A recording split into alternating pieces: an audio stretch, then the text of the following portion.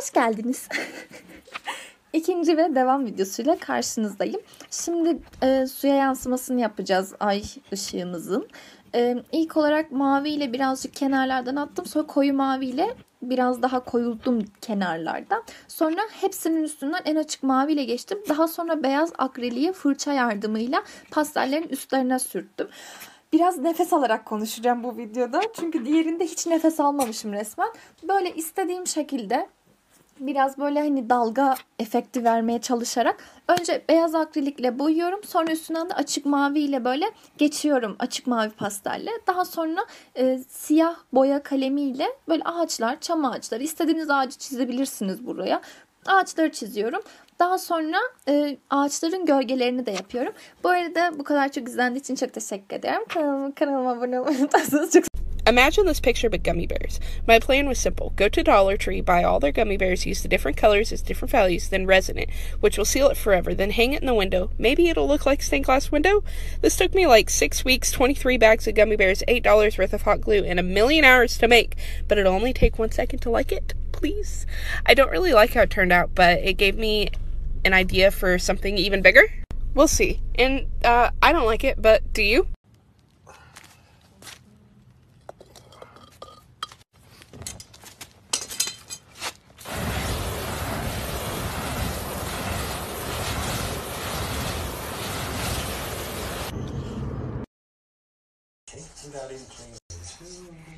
In this. Right, all right. All right, we're gonna make the blue sky. Okay, blue sky, blue sky. okay, that's the problem here we have. Buy me new. So this is a part two video of my food lettering with sprinkles. So last time I made my stencil and I'm going to go ahead and start filling it in very carefully with sprinkles and um, I'm using a tiny little paintbrush to carefully move things around. Once that first layer is done, you can see up close that there are a few gaps that need to fill in, so I'm going in with even tinier sprinkles to fill in those gaps. This helps the lettering be as legible as possible. So once that's done, I'm going to very, very carefully lift up the stencils, um, and there might be a few mistakes, and that's okay. So now I have my beautiful prop set up by my table, ready to go.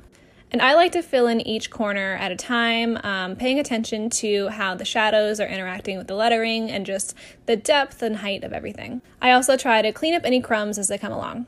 So I like to add um, a spilled effect in a lot of my pieces. So I do that actually with a lot of intention, carefully placing my spilled objects um, and just paying attention to the color and texture of everything. And once that's done, I'm ready to shoot. So like Okay, I'm back and I'm gonna paint wood slice with the help of Lizzie McGuire, of course. So I wanted to do the little mushrooms, you know, but with different flowers. I have a mushroom print with flowers, but I'm gonna do it different. And I thought, how perfect would it be on a wood slice? Am I right? Now, I wasn't 100% sure how I wanted to do this. Um, I love outlining things in pen, but with these type of flowers, I don't outline them, so it wouldn't be very cohesive. So I just kept going with it. And there, hi, that's me. Okay this is me being very unsure about it. I was like, mm, but then I was like, whatever, I'll keep going. And that's usually how it goes. So this is me judging Lizzie McGuire for what I don't I can't remember what she was doing. Um, then I drew some little grass. Look how cute. And then I drew some greenery. Okay, now let's call our esteemed art critic to come in here and give her point of view. Ella, come here. Come here.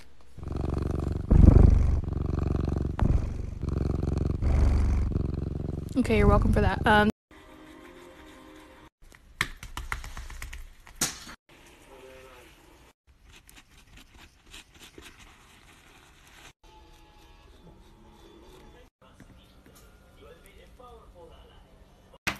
Bu sefer bunu sesli anlatmaya karar verdim. Daha önce kestiğim, hazırladığım kağıtlardan birini seçtim.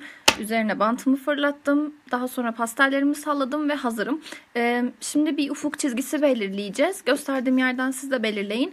Bu videoyu böyle anlatacağım. Bir yerde pastel boyaların rengi karışmış. Daha doğrusu çektiğim efekt şey... Aa, görünmemiş.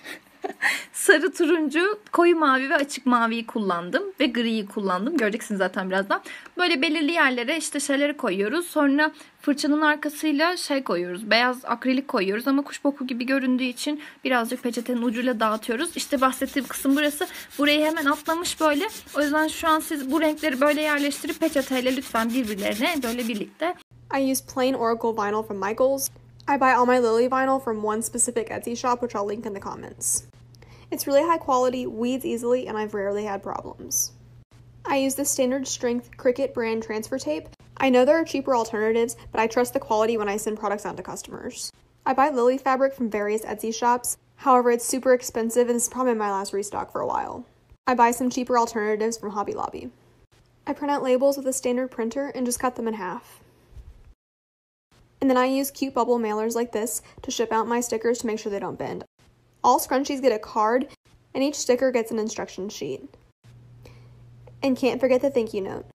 If you have more questions, leave them in the comments for This is what I'm working on right now. This is extremely hot. But this is what I'm working on. Using using this wood burner. And I have to wear the gloves because that gets so hot. I've blistered my finger this at this point, so I had to put more tape and I need to get better gloves cuz and then next I'm burning that entire table with all that stuff on it.